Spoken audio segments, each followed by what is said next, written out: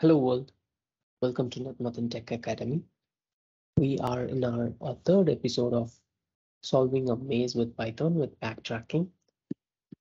If you have not watched the previous two episodes, uh, you will find the link in the description. So in this episode, we were going to cover the Pygame display part, but I was thinking that we can actually change the order a little bit and add the intelligence first and then do the Pygame display in the end. So let's start by taking uh, forking the repl, the code from episode two. So we don't edit the same code. So now what we have done till now is we have automated solving the maze, but we are not doing it in the most efficient way. For example, when we hit a roadblock here, we are going up all the way. And then eventually we come back and solve the problem, but we are not taking the most efficient route.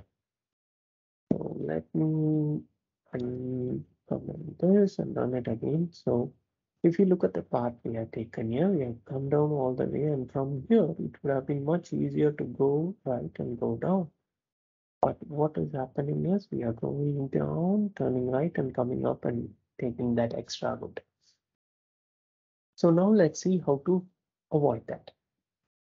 If we look at our move order here, our order is always fixed. But if we make this order dynamic, so we calculate the move order based on where the player is and where the target is actually is. So let's make a function to do that. So I'm going to call this um, find move order. Okay. I'm gonna need the maze, the rows, the column, the current position where the player is and the position where our target is actually. So what is that we are basically going to do is we are going to try and check where our target is and decide how to move forward. Okay, good. So if the row in which I am is actually smaller than the target, the direction in which I'm gonna go first is going to be down because I am above the target, right? So let's add the direction down. And in the else case, we should probably go up. Okay, and let's do the same if the column in which I am in is less than the target column, then I will first try to go right. Else I will go left. Perfect, good. So what if the row, player row and the target row are the same or what if the columns are the same? Uh, how many directions have I add, already added into my move order? I know I need to try four directions, up, down, left, right, but I don't know at this point if I have added all the four directions. So let's add a loop to check the length of our move order is actually 4. If it is less than 4, then I need to check if probably my right direction if not R in move order, if R is not there, then I append it.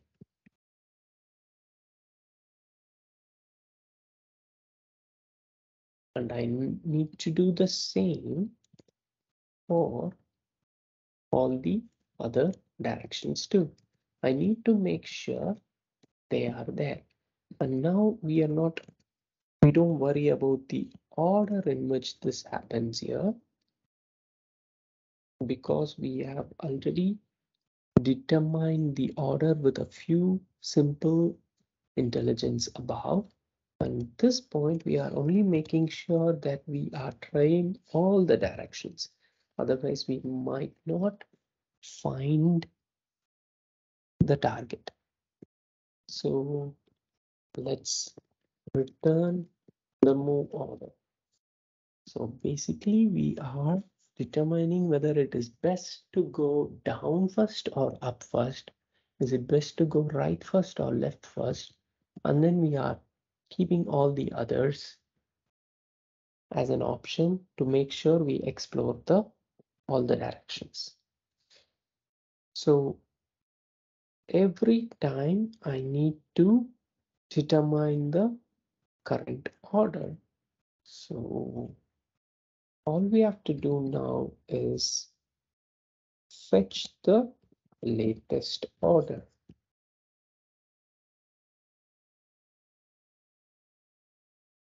By calling the function. So before I run the code with this command, let's look at our maze one more time. Now let's say our player is here. I put the player here and I put our target on the top here. So ideally the best path for us would be to go up and reach the target. But if you remember, our default order is always to go down. And right now I'm not calling this find move order function. So now let's see how our algorithm behaves.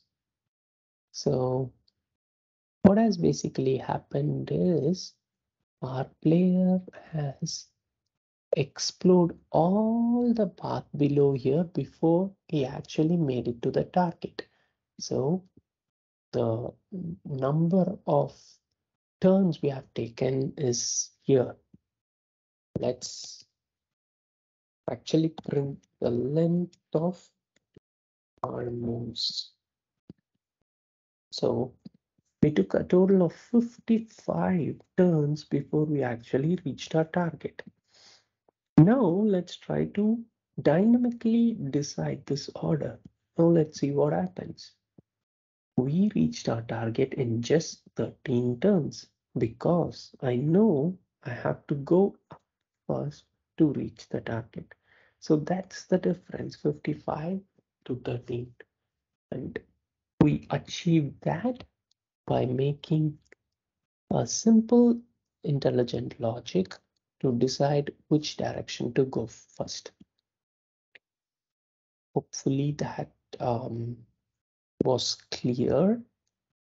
And uh, going back to our steps, we have done the intelligence part first. And in the next episode, all we will do is we would add a Pygame display for this so it all looks pretty and it's not just in the console. So before we end the episode, let's try one more maze. I'll put my player at the end here and I'll put my target at the end here and I will surround my target with more blocks.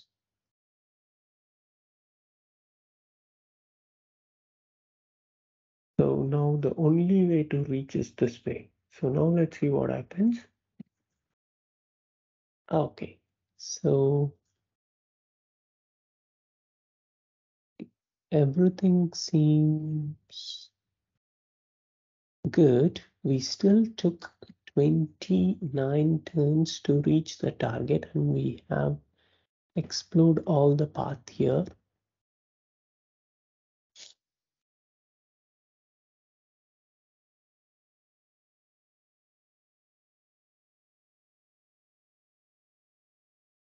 This could be made even more faster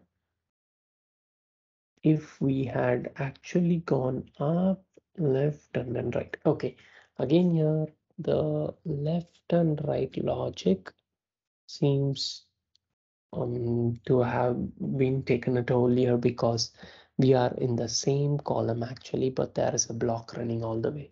But at least we made it all the way to our target with uh, 29 turns, which is good. I do not see any backtracking here. So let's add some more blocks here to see if we can make the algorithm backtrack. So if I go up all the way, I will hit a dead end and then I need to backtrack to reach this. So let's see what happens. Okay, I can see here some fours here. The, all the fours are dead ends. So I have gone up all the way there and I have backtracked and I have come up all the way here. So a total of 27 turns to reach the path. That's good. Okay, perfect. Um, so in the next episode, let's do a Pygame display for this. Uh, talk to you all in the next episode. Uh, bye, world.